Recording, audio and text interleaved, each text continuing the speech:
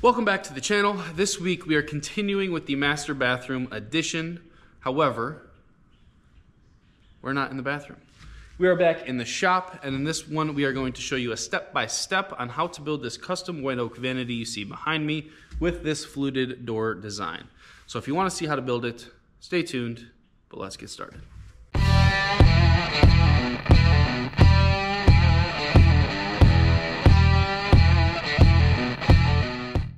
Know I've stressed this on other projects, but every build starts long before you cut any wood or glue any pieces together. I always sketch out a rough idea of what I'm looking to build, and then start with a preliminary cut list. I changed my plan about two or three times on paper, which saved me countless dollars in lumber. Mistakes are much cheaper in pencil. Once I got the plan on paper, I head on over to my local hardwood supplier to gather some white oak that I could mill up for the vanity. I'd be sure to take my time on this step and pick through the rack. Picking lumber with nice grain and somewhat straight edges is going to save a ton of time and money in the milling process. Back in the shop, I started breaking down the sheets of plywood that would make up the vanity box. I went with pre-finished birch plywood here for the first time, and I don't think I'll ever go back. You'll see here I also picked up a cutoff of some white oak plywood that I'll use for the exposed side of the vanity when you walk into the bathroom.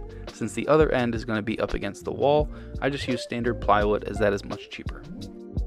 Once I had all the pieces broken down, I then measured and cut the corner out to make the toe kick. I usually do a separate toe kick, but I wanted to give this style a try given I was going for the natural wood look. With that finished, I started cutting the dados in my two end pieces that the bottom of my vanity will slide into. Now I don't own a dado blade, however you can still accomplish the same cut with a standard table saw blade. I make my initial pass and then repeat that multiple times, moving the fence over little by little until I get a nice snug fit with my bottom piece. Now I assemble the box together using some wood glue. I put a generous amount in the dado and make sure that the bottom rail seats firmly into place. I just picked up these corner clamps that are made for building cabinets. They have these pegs that lock into the 90 degree bracket and then clamp down to the cabinet box to ensure it's perfectly square. I have links to these, as well as all the other tools I use in the build down below in the description. While we wait for that glue to dry, I cut some support pieces out of the remainder of the plywood and drilled pocket holes on each end that we will use to attach to the top of our cabinet and lock everything together. Now if you're going to be building more than I'd say one or two cabinets, I highly suggest you pick up these pocket hole clamps. I don't know why I waited so long to get these, but they fit right into the pocket hole that you drilled and act as a second set of hands while you get everything screwed together. Link to these ones down below in the description.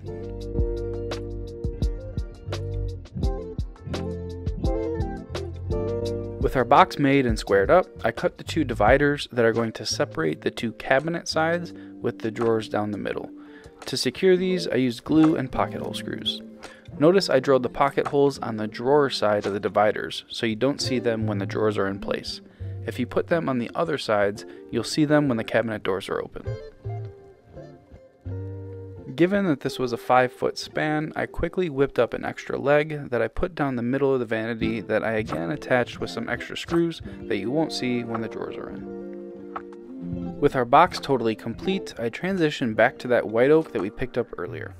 I'm not going to go in depth here on how to mill rough cut lumber as I just put out a video on the channel a few days ago on how to joint lumber without a joiner. If you're interested, I'll put a link down below. Essentially, the process I follow is to break down the rough lumber into shorter sections closer to the length I need for each piece. This minimizes the amount of milling that we need to do to each section. Once it's broken down, the goal is to get a straight edge on one side that we can then flip and put against the table saw fence to further cut down these pieces into the size that we need. These boards were already flattened on one face, so I didn't need to run them through the planer first. When building face frames, I always start with the outside pieces. Here I'm cutting a 45 degree angle on my left piece as the white oak plywood is also cut at a 45. These two pieces are going to seam together at a 90 degree angle and wrap the grain around the corner rather than having a clear joint visible on the end. This takes a bit longer, but to me it's worth it as it makes a much more professional look in the end. Once those pieces are clamped into place, I measure the top or the bottom and then cut both the pieces to that measurement. If you're good and your cabinet is square, these should be pretty darn close but you don't want to measure each piece separately. This will guarantee that your face frame isn't square and will be an absolute nightmare when you go to install the doors later on, especially if you're doing inset doors like we are. After measuring and cutting for our middle sections, we then send all of the pieces through the planer, bringing them down to the final thickness before moving on to drill pocket holes in all the ends and screwing everything together. You'll see we use pocket holes quite a bit when building these cabinets. This is the perfect application and exactly what they're designed for. When building out the drawer sections on the face frame, both across the top and down the middle, I cut two spacers exactly the same length that I used to ensure that the spacing was dead perfect across the length of the drawer. This is super critical you get this dead right. If not, the inset drawer spacing will be off and it's going to look crooked because your reveal around the edge of the drawer will not be consistent. Back over on the cabinet box, I drilled pocket holes along the top, bottom, and end that goes up against the wall. These are going to be hidden in the final product, but will provide plenty of strength to attach the face frame to the cabinet box. The side that didn't get pocket holes I simply glued and put clamps on overnight.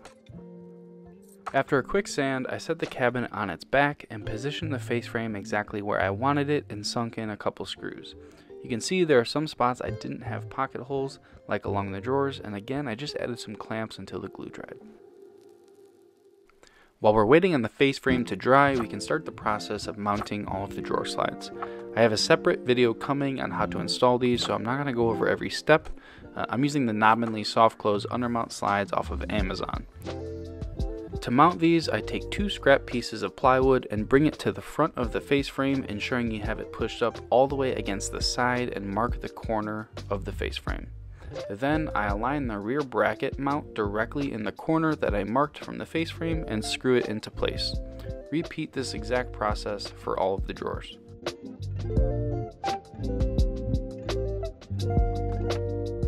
Once all of your back brackets are installed, you can take those boards and screw them to the back of your cabinet in their respective corners. This leaves you with your mounting brackets perfectly lined up with where your face frame is when we mount the slides. Next, you'll take your drawer slides, slide them into the rear mounting bracket, and install them into your cabinet box for your fit. I am doing inset face frames, which means my drawer slides will connect just behind my face frame and screw to my cabinet box. Once we have all of our drawer slides installed, we can grab some measurements on how big we need to build the boxes. To make the drawers, I subtract an inch from the height of the opening to determine the height of the drawer. Once we have all the pieces cut, I cut a groove a half inch from the bottom of the drawer, a quarter inch deep to accept the plywood drawer bottom. Because we're using undermount drawer slides, I need to notch the back corners of each drawer to allow the drawer slide a place to sit. The bandsaw makes quick work of these notches. Once we have notches cut on all of our drawers, we put the boxes together using glue and brad nails, sliding our bottom panel into the groove that we cut over on the table saw.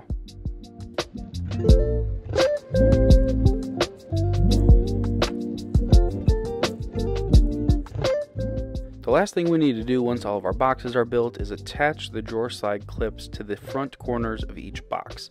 These are what the actual drawer slides will lock into, ensuring the drawer doesn't wobble around in place. Following the exact same milling process as before, I cut the rest of the lumber into pieces needed to make all of the drawers and doors out of solid white oak.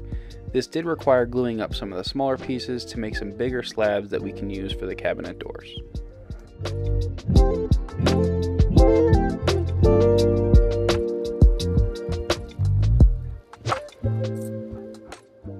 Came back the next day after giving all the glue some time to dry and planed all of the pieces down to their final thickness before moving on to cutting everything down to the final dimensions.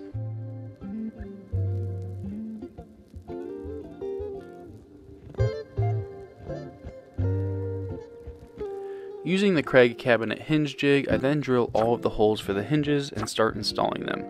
For this vanity, I'm going with the Blum inset face frame hinges. I know I've said this on a few of the other products I've been using, but this hinge jig is absolutely worth every single penny. And if you plan on building any amount of cabinetry, it's an absolute must. Now you'd think we'd be wrapping up this project and getting ready to apply finish, but you'd be wrong. I saw this fluted design on Pinterest and knew I had to do it to this vanity.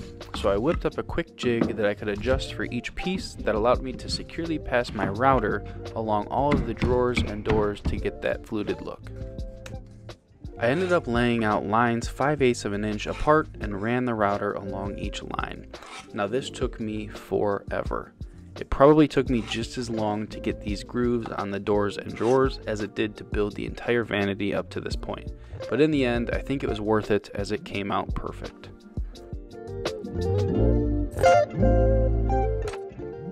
Prior to applying finish, I gave these a final sanding and then cleaned everything with mineral spirits and a tack cloth.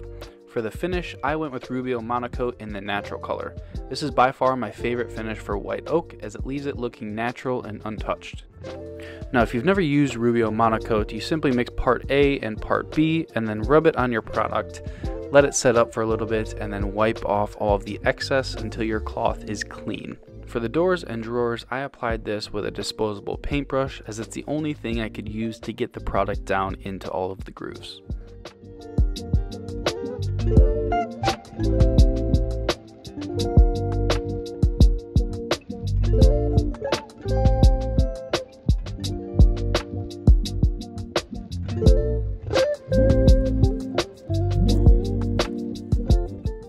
Gave the finish the night to dry and came back the next day to mount the drawer faces.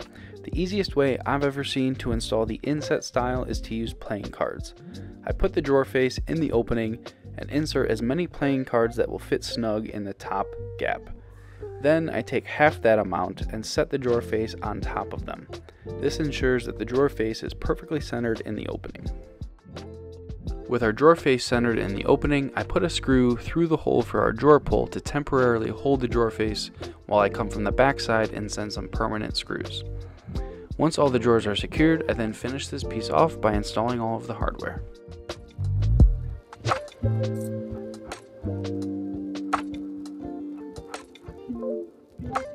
With the build complete, I got some help bringing the vanity upstairs and put into its final place.